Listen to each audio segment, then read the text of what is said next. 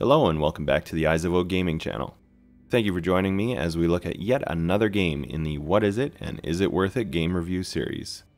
As always, we will be looking at the game in as story spoiler free way as possible, and I'll do my best to present the game objectively.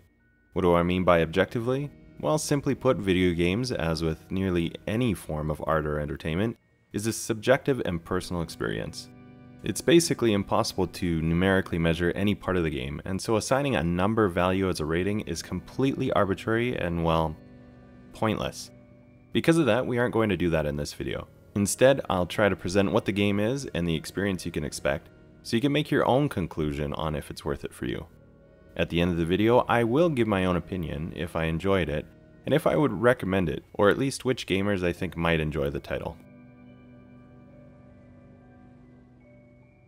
Sometimes you want to give yourself a nightmare from the terror of a great horror game experience. And sometimes you just want a little nightmare. So today we're looking at the game Little Nightmares. This one released originally in 2017, being developed by Tarsier, maybe Tarsier Studios, and published by Bandai Namco Entertainment. So what is Little Nightmares and how has this one held up over time? Well, as usual, we're going to look at this one in as spoiler-free way as possible to determine just that, with the goal of answering the most important question asked in this review series. Is this one worth it for you? Sit back, relax, let's find out together.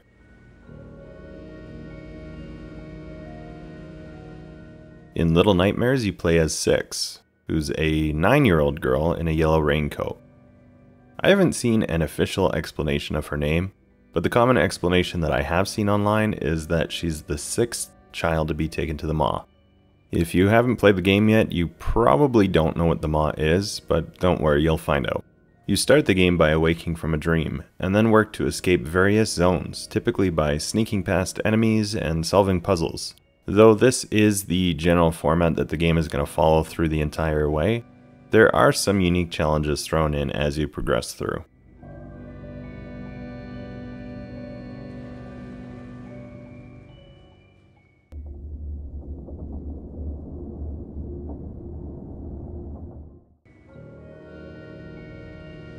This one is a platformer and takes place in what I've heard described as a two and a half dimensional world. This is kind of a weird way to term it, but essentially instead of a standard classic 2D game taking place on a two-dimensional plane, the player is able to have some restricted movement in a third dimension.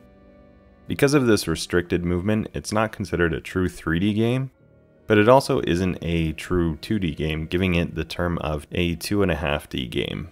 Controls are fairly basic with just movement, sprinting, and a crouch or a slide option, as well as having some limited camera control functionality. There's also the use of a lighter and the ability to grab things, pick up objects and throw them, and that's about it. There aren't any combat controls in a classic sense, though you will be required to defend yourself in some instances. Most of the time you'll be navigating level zones, attempting to stay hidden and manipulating objects in the environment in order to solve puzzles and continue on to the next zone. As for the puzzles themselves, I would rate them as easy to moderate. Personally, I didn't find any of them to be too challenging, and the game does a good job of slowly introducing you to ideas or concepts for solving puzzles, which are then increased in complexity at a rather organic rate to allow for the player to solve them with minimal frustration. That's not to say that the puzzles are boring at all, as they typically are constructed in unique ways and can be quite satisfying to complete even for some of the more simple ones.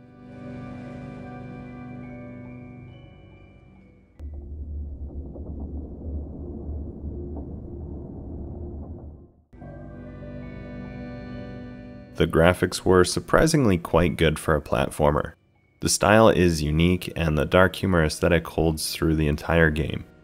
There isn't a huge variety of game environments, and each zone will feel very similar for the most part. However, they are all constructed quite well, and will seem to tell the story of each zone through the use of environment, layout, and object placement.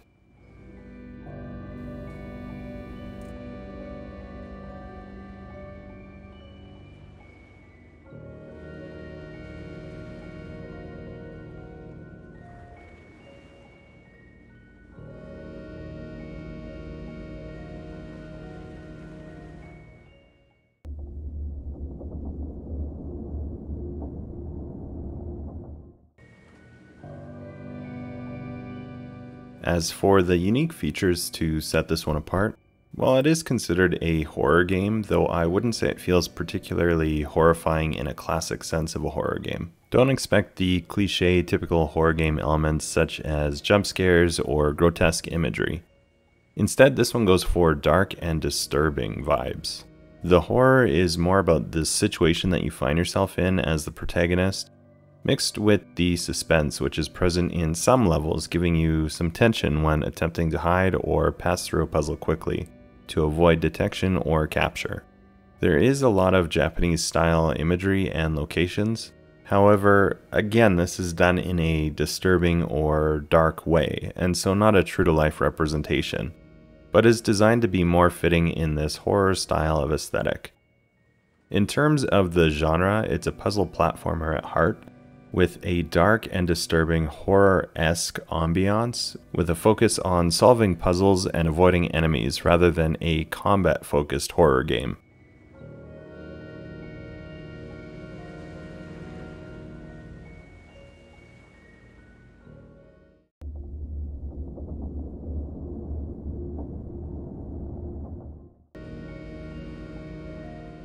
Sound is quite unique in this one in that there's no dialogue through the entire game.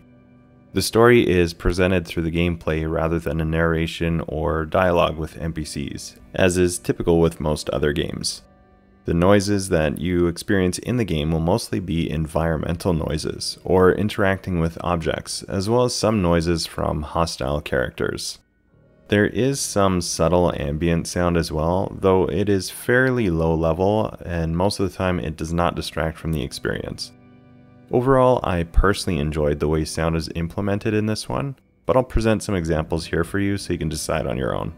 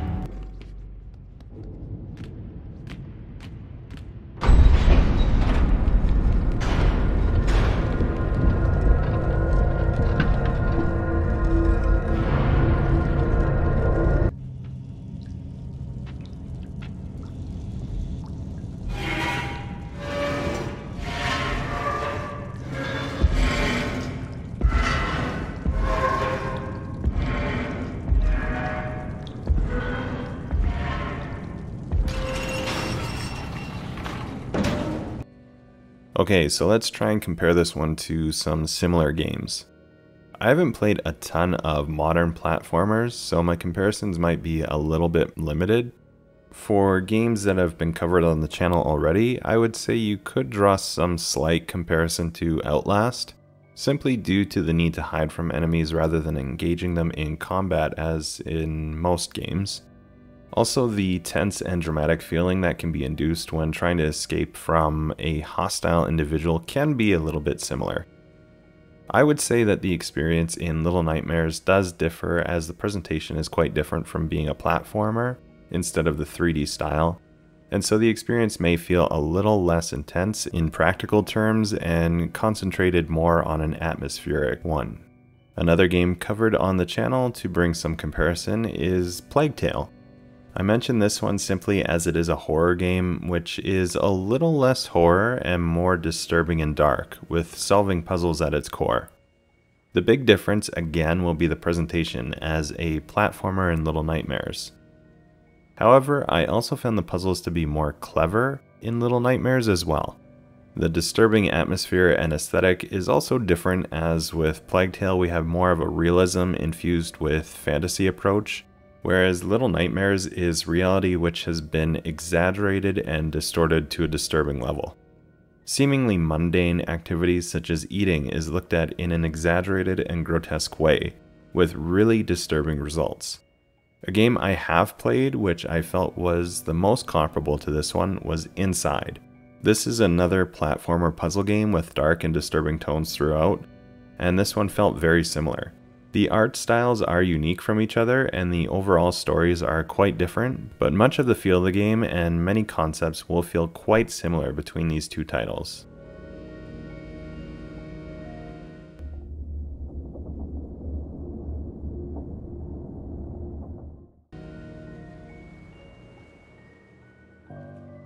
So now that we've looked at some of the features of the game, we reach the point of my review where I give a more subjective look at my personal experience with it. Please keep in mind that the following is just my opinion of the game, and if the features and genre seem interesting to you, you should definitely check it out for yourself, as not all games are for all gamers. The game that you hate might be the next gamer's all-time favorite, which is one of the things that I love about gaming. There's always something for someone out there. So did I enjoy this game and do I recommend picking it up? Hmm. I like it. I was really surprised by this game, but yes, I definitely recommend it.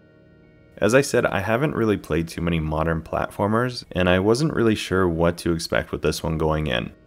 It was really a pleasure to play through this one, and I really appreciated that this title provided what felt like a really unique experience from other games.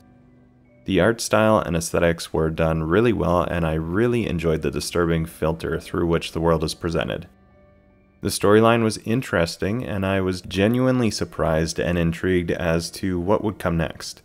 The puzzles can be moderately challenging, but really there was nothing here that felt too difficult or needed to be looked up in order to solve. The difficulty actually seemed to ramp up at a very fair pace and gives the player the chance to learn and get better at the systems in place along the way. The only real critique might be the length of the game, as it is rather short and only takes a handful of hours to complete. Personally, I didn't mind this and I felt that the length was adequate for what the game is. However, it is something that I would like to make you aware of if this is an important aspect to you. I would recommend this game for anyone who enjoys platformers or specifically puzzle platformers, or those who enjoy a unique gaming experience or are looking for a more casual game that incorporates a dark and disturbing tone and aesthetic throughout.